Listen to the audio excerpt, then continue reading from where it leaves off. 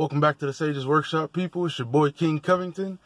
So I got to do this in one take because I don't have much time before work. And I did this last night because I promised I would do a video every day, or at least five days a week. But um, it was just too damn dark outside. I couldn't. Oh goddamn.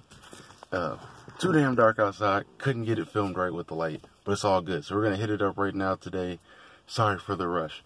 So my topic that I was gonna talk about, or that I talked about last night, was My Hero Academia, and specifically the quirks the people have in the show as a parent. So I'm just gonna do my four quick worst ones for me right now, and uh, there's a couple categories, I guess. So we'll start real quick with Endeavor and Present Mike, and the category will be tantrums. So if you watch the show at all, you know, no spoilers here, but Endeavor has the power of like, you know, you can turn like it's like hell flame, so you can just, you know, engulf himself in flames at all times. And imagine your four year old, you know, all of a sudden having the power to engulf himself in flames every time he's pissed off. You don't want that. That is trash. That is the worst thing you want. You don't. You know, and then house on fire, like kids' school on fire, all because he's throwing a tantrum. Terrible. Second, present Mike, he can like scream. You know, I don't know, like miles worth of distance.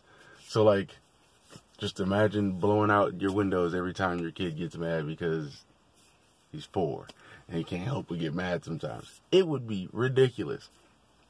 Uh, the second category is Shinso from the show, my man's with the purple hair.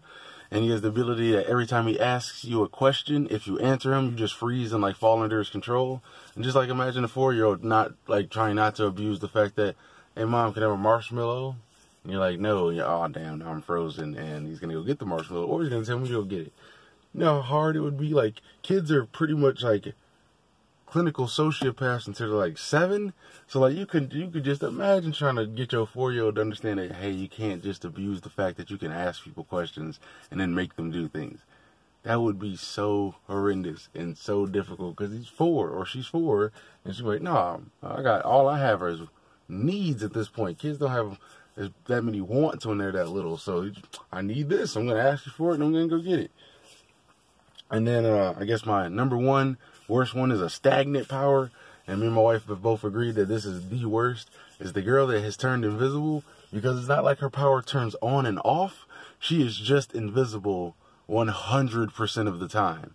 So you four years old, you're like, get your beautiful kid, and then all of a sudden, yo, no, they're there. They're just gone. And then, yeah, I've heard the argument, oh, they can wear a mask, here's some makeup. Nah, bro, it's not the same. You don't get to see your kid's skin. Man, I couldn't imagine my kid just like, and like, it's not like they're even dead or gone or no, they are always there, just you can't see them. What? Oh my life.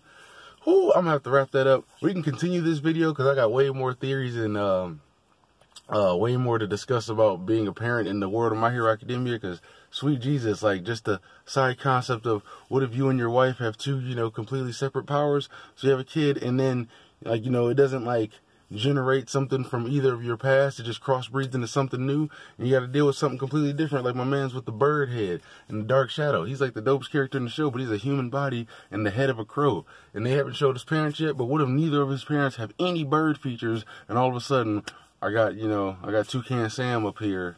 And I got, you know, I'm a real boy down low. What the, bro? Yeah, we can get back into that later. Love, peace, and chicken grease. That was for you, Paul Lewis, specifically. I will catch y'all on the flip side today for another video later after work. Love all of you. Peace.